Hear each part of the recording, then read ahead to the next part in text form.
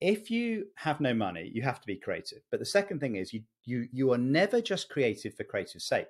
You are creative commercially because I had to think, how does everything I do lead to a sale?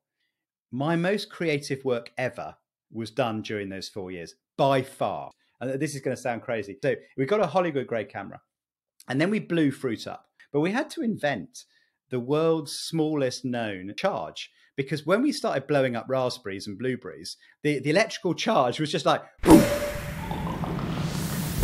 What I discovered there is my most creative work ever was done during those four years, by far, by far. Because what happens is when you have a budget, what what you do psychologically is you go, what did we do with this budget last year? And you tend to, it's, it's a bit like a path dependence. You know, I, I noticed it when I, because I went from there to, uh, uh, the, well, the number one energy drink, the number one fruit drink, and much bigger business, huge resources, huge teams, very professionally run. You know, so I went from literally one extreme to the other. When I'm in that scenario, you tend to go, well, you know, each brand's got 10 million pounds to spend, so they go, right, I'll do some TV, I'll do some radio, I'll do some in-store, you know, I'll, I'll do some social, right?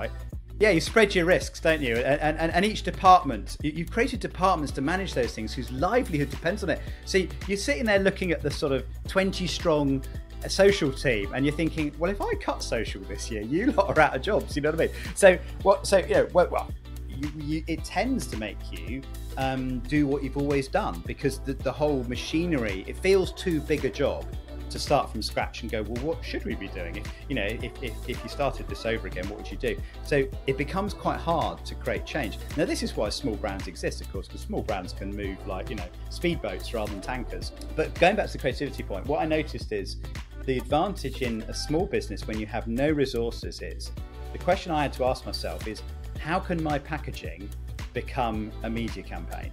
So one of the things I was really proud of is um, that the brand the brand was called Juice Burst, right? So a very simple idea.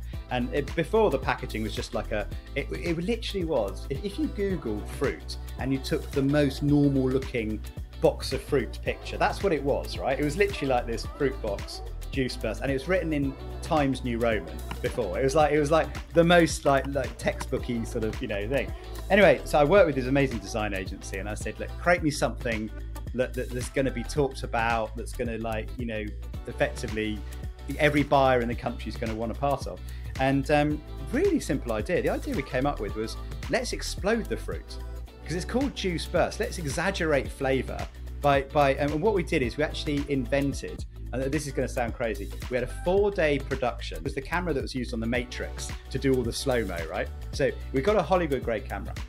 And then we blew fruit up, right? And we filmed the fruit being being literally exploding in slow motion. It was just, it was the most dramatic thing ever, right? But we had to invent the world's smallest known uh, charge because when we started blowing up raspberries and blueberries, the, the electrical charge was just like boom, and then I completely like smashed the smithereens.